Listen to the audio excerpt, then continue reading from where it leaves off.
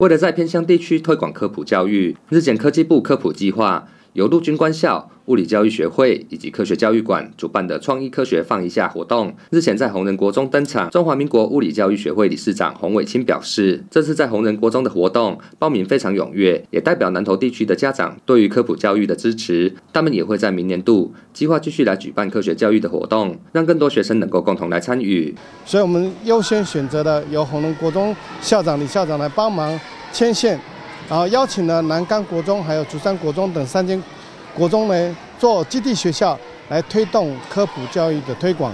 那这次呢，我们总共开放本来是四百五十名，但是在三天里面，南投的小朋友家长竟然呢有超过六百多人来报名参加这个活动。所以显然，呃，在南投这里科学教育的推广这件事情，家长普遍都非常的重视。所以这也奠定我们未来还会更规划更多的活动在南投地区来生根。红人国中校长李梦贵表示。今年跟往年不同的是，透过事先训练国中学生，让他们来担任关主，再让关主带领国小的学童做科学实验的活动，也希望透过这样的方式，让活动更加生动有趣，增进学童学习科学教育的兴趣。创好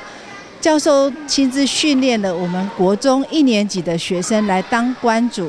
然后利用半天的时间训练过后，那今天整天就是由这些小关主来带领国小的学生一起来闯关。那今天总共设计了二十八种游戏哦，二十八种科学游戏，都是非常跟生活化有关的一些力学啊、物理学啊，啊一些简易的科学这样子，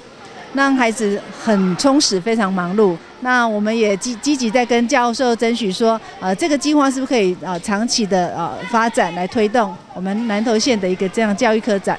县议员廖志成肯定主办单位的用心，尤其这次参加活动的学生都非常认真在学习，也显示我们的学童对于科学教育的兴趣。但因偏乡教育资源较为匮乏，也希望这样的活动能够多举办，让我们的孩童能够接受新的资讯及知识，帮助孩童的发展。啊我看每一个学生吼，对这科学教育拢吼非常认真、很专注、很有兴趣的在聆听吼，咱的讲师的这个授课吼，而且嘛提出很多问题来发问吼。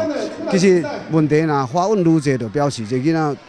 有得到吼深入的啊，这个啊思考的方式吼，要来请教咱所有老师吼。啊，我是感觉这款的，就是讲吼，对咱偏乡内底吼，本来咱的教育资源就较不足啊吼，这种应该对咱偏乡教育要多多吼，多办几场吼，咱的囡仔会当吼提早来接触科学教育的教学方式吼，会当提升吼咱未来竞争吼，对咱偏乡的学生的竞争的这个啊能力啊呢。副议长潘一全肯定科技部科普计划的用心，也希望县府教育处能够来推广科普教育的活动，让学生有机会接触到新的知识，让科学教育能够在南投县扎根。记者陈伟一普里采访报道。